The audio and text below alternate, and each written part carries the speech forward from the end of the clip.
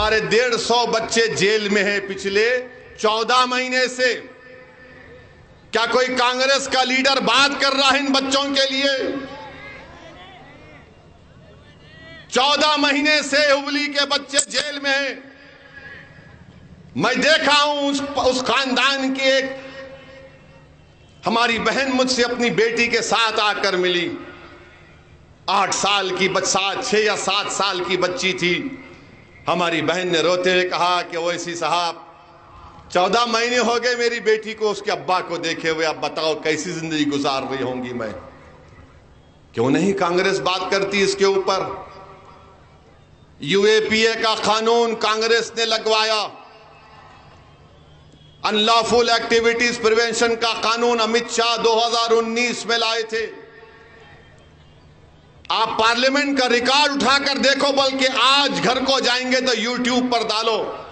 Owaisi speech in Lok Sabha on UAP amendment Congress Amit Shah के साथ उस कानून को और खराब कर दी।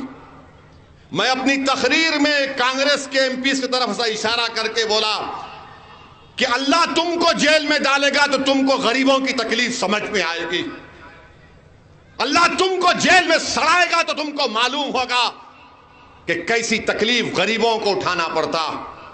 तो पूरे कांग्रेस के लीडर्स खड़े हो गए एमपी। हमको बोल रहे हैं, आप मिला, क्यों तुम क्या दूध के धुले हुए है? अरे तुमको क्या तुम्हारे पार्टी को बोलते हम? आज आप देखो, वो बच्चों की बेल नहीं हो रही है। यूएपीए का सबसे गलत कानून है। सख्त कानून है, पूरी दुनिया में ऐसा कानून नहीं है। न अमेरिका में है, ना रशिया में है, ना ग्रेट ब्रिटेन में है। अमेरिका के पेट्रियट एक्ट से बदतरीन यूएपीए का कानून है। और उसको कानून लगा दिया गया। मेरे भाई, हम बात कर रहे हैं उन लोगों के लिए, मैंने हमारी उस बहन से वादा किया। और हमारे बुज़ुर्ग यहाँ पर पीछे बैठे हैं। मैंने उनके सामने सुप्रीम कोर्ट के एक वकील से भी बात की। ताला हम उन बच्चों की रिहाई के लिए लड़ेंगे। जो कुछ अल्लाह ने हमको दिया, हम उसको इस्तेमाल करेंगे। उनको घर लाएँगे, ताकि वह हुबली को आकर अपने घर में, अपनी औलाद से, अपनी बीवी बच्चों से मिल सके और एक नॉर्मल ज़िंदगी को गुजार सके। ये कांग्रेस के मेले उस वक्त भी एक लफ्ज नहीं बोला। बताओ आप क्यों वोट देंगे उसको? आपका तो इखलाकी फरीजा यह है कि आप कांग्रेस को वोट ना दें। जो बच्चे जेल में सड़ रहे उनकी बात करने से डरता है। वो तुम्हारे वोट का हकदार नहीं है, मेरी बात को जानो आप। 158 हुबली के बच्चे जेल में उस मनूस यूएपीए के कानून में। डीके शिव कुमार क्यों नहीं बात करते इन बच्चों के बारे में? डीके शिव कुमार बात करो ना इन बच्चों के बारे में। सोनिया गांधी आज हुबली में है, राहुल गांधी हुबली में है। अरे बात करो, मस्जिद को शहीद कर दिया, दरगाह को तोड़ दिए। हुबली में एक डेढ़ सौ बच्चे हैं, मगर शेतकर के लिए ताइद करने सोनिया गांधी आती है, जो आरएसएस से निकला और आज भी आरएसएस में है।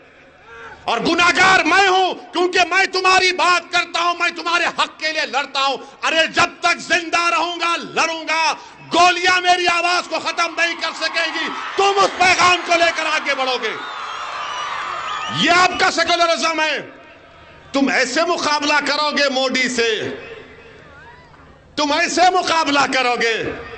मैडम सोनिया गांधी, मुझे उम्मीद नहीं थी आपसे। कि आप एक आरएसएस के आदमी के लिए कैंपेन करने आएँगी। जगदीश शेटकर तो आरएसएस से आया है।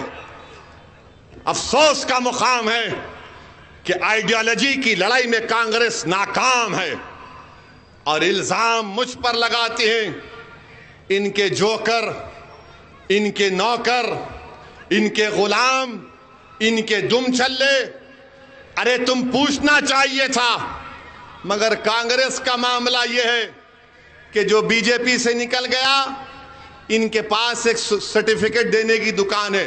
यूँ लगा के लगा देते, तू सेक्युलर बाकी के कम्युनल अरे कांग्रेसियों तो मुझे तुम्हारी सर्टिफिकेट की ज़रूरत नहीं है। मेरा सर्टिफिकेट तो मेरे मरने के बाद, हशर के मैदान में अल्लाह देगा। नबी करीम सल्लल्लाहु अलैहि वसल्लम के सदक़े में मेरे सीधे हाथ में इंशाअल्लाह नमस्कार, मैं हूँ मानक गुप्ता। अगर आपको हमारा ये वीडियो पसंद आया हो तो इसे लाइक और शेयर ज़रूर करें। और हाँ, हमें सब्सक्राइब और फॉलो करना ना भूलें, ताकि आप देश और दुनिया की कोई खबर मिस ना करें। तो जुड़े रहिए हमारे साथ और देखते रहिए न्यूज़ 24